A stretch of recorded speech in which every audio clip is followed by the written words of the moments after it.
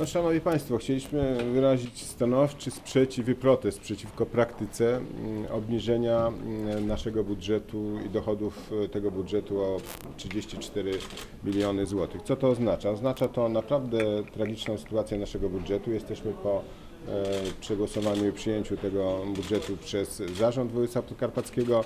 Zrobiliśmy to wszystko w ustawowym terminie.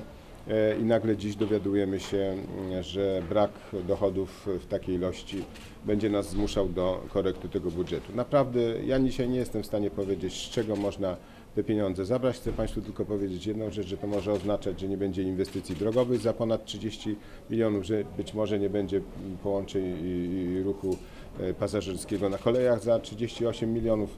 No nie jesteśmy w stanie mm, dzisiaj w ogóle myśleć o tym, z czego te pieniądze wziąć. Chcę e, powiedzieć, że mm, ta nowelizacja e, rządowego projektu ustawy o zmianie e, ustawy o dochodach jednostek samorządu terytorialnego jest drukiem i wnioskiem rządu. Nie był konsultowany mm, przez e, Komisję Wspólną Rządu i Samorządu. E, Nie były znane tutaj stanowiska poszczególnych korporacji, w tym głównie e, naszego, naszego, e, naszego stowarzyszenia e, województw, prawda? Nie było tu brane pod uwagę stanowisko konwentu marszałków. Wbrew wszelkim regułom i zapisom ten rząd jeszcze raz pokazuje, że jest antysamorządowy e, i stawia to pod e, wielkim zapytaniem nasz przyszłoroczny budżet. Budżet, który miał nas przygotowywać do przyszłej perspektywy finansowej środki, które przewidzieliśmy na inwestycje, na rozpoczęcie inwestycji e, z perspektywy 2014-2020 właśnie w tym kierunku miały iść. Miały to być przygotowanie dokumentacji, przygotowanie wszelkich dokumentów bezwzględnie potrzebnych do uruchomienia projektów i rozpoczęcie tych projektów, bo taka możliwość w 2014 roku istnieje. Gdy to się stanie faktem, mam nadzieję, że nie, tych inwestycji niestety nie będzie i perspektywa finansowa 2014-2020 w, naszej, w mojej ocenie nie ruszy. Drodzy Państwo, kilka pytań, jeśli jest. Państwo są do, do Waszej dyspozycji. Pan marszałek Pańska. Czyli teraz trudno przewidzieć, jakie inwestycje nie zostaną zrealizowane w związku z tą dziurą budżetową. No I jaka naprawdę- będzie ta dziura, bo wcześniej był zakładany deficyt ponad 30 milionów złotych, tak?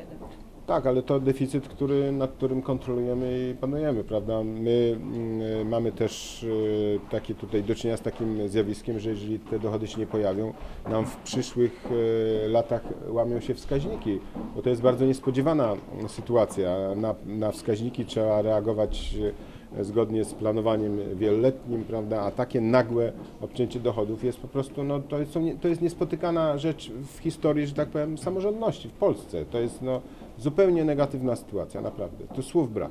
Pani. Można zwiększyć deficyt?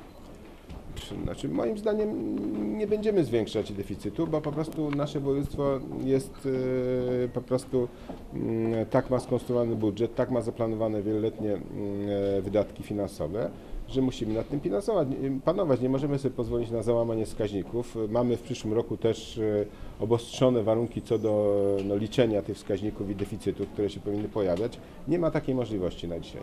Czy pan, się, kon- czy pan się kontaktował z marszałkami z innych województw? Czy my tracimy najwięcej? Czy planujecie jakąś wspólną akcję? Znaczy po pierwsze na czele strat stoi województwo dolnośląskie, tak, rozmawiałem z marszałkami, oczywiście wszyscy są oburzeni, nie znalazłem jednego, który by e, oczywiście to popierał, znaczy nie obdzwoniłem wszystkich, bo nie było możliwości. E, chcę zrobić spotkanie z naszymi senatorami, bo projekt oczywiście, jak Państwo wiedzą, trafi do Senatu. E, Chcę rozmawiać z przewodniczącym mm, Senackiej Komisji Samorządu Terytorialnego Administracji Państwowej. No, przed nami oczywiście jeszcze Senat i jeszcze prezydent. E, ja nie wykluczam tutaj złożenia skargi do Trybunału na tryb, w którym ta nowelizacja jest e, procedowana. No nie mówię, że pod osłoną nocy, chociaż głosowanie było w późnych godzinach.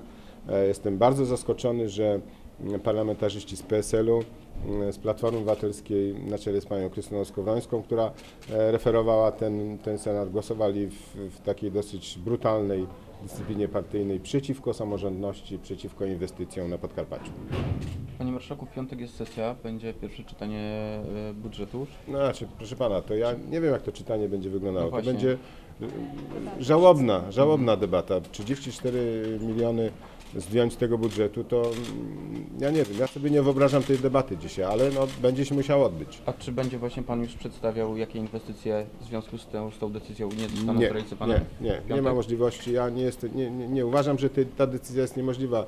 Fizycznie do wprowadzenia i naprawdę uważam, że, że debata w piątek na ten temat i pokazywanie, z czego my zrezygnujemy już dziś, byłaby jak gdyby takim dowodem na to, że się poddajemy, ale nie możemy się poddać, bo to jest no, po prostu no, niemożliwe, proszę Państwa, niemożliwe. Czyli jakie kroki Pan podejmie, proszę powiedzieć? Znaczy po pierwsze tak, spotykamy się z senatorami, ja będę ich prosił, będę rozmawiał z przewodniczącym Senackiej Komisji e, Samorządu Terytorialnej Administracji Państwowej. E, analizujemy prawnie, e, prawda, jak to wygląda, w jakiej pozycji jesteśmy, czy rzeczywiście e, ta skarga do Trybunału ma miejsce. W moim odczuciu tak, ale muszę mieć tu potwierdzenia prawników. No i też organizujemy korporację naszą, bo to tracą tylko i wyłącznie województwa, chcę powiedzieć, bo I też myślę, że za chwilę będzie się odbywał konwent marszałków w Toruniu, w Bydgoszczy. Tam na pewno będziemy o tym mówić i to zdominuje te obrady, bo sobie nie wyobrażam, że w takiej sytuacji byłyby inne ważniejsze rzeczy od sprawy dochodów, sprawy finansów publicznych. A Państwo Naszym jakieś przecieki, że takie coś zostanie wprowadzone, czy to zdecydował jednak postawa marszałka Struzika? Znaczy, yy, ja myślę tak, znaczy po pierwsze była procedowana mm, zmiana ustawy, która by doprowadziła do nowelizacji janosikowego jako takiego, prawda? No tu cały czas żeśmy to obserwowali, yy, z- zapoznawaliśmy się z tym, ale pamiętać należy, że janosikowy dotyczy wszystkich, po- yy, wszystkich szczebli samorządu terytorialnego, powiatów, gmin, województwa, prawda? A tutaj doprowadzono do sytuacji takiej, gdzie tylko i wyłącznie jest dotknięty tym samorząd wojewódzki. Praktycznie wszystkie województwa poza e, Mazowszem e, składają się na e, to województwo, które być może bankrutuje, ale nie bankrutuje z tego względu, że, że po prostu mają nosikowy, tylko z tego względu, że nie pilnowało budżetu, bo każdy wie, e, bo te plany my dostajemy, mm, myśmy dostali już e, 15 października, ile będziemy mieć dochodów, bo trzeba skonstruować budżet. No są pewne terminy, wszyscy się wy, wywiązują. Ja tu jestem zupełnie zaskoczony, że e, taka, taka, taka informacja do nas dociera, która no, może stać za chwilę się faktem. Nie dopuszczamy tego. Jest Pan krytykiem zarówno trybu ustalenia, tak w ostatniej chwili, jak i samego sensu pożyczki.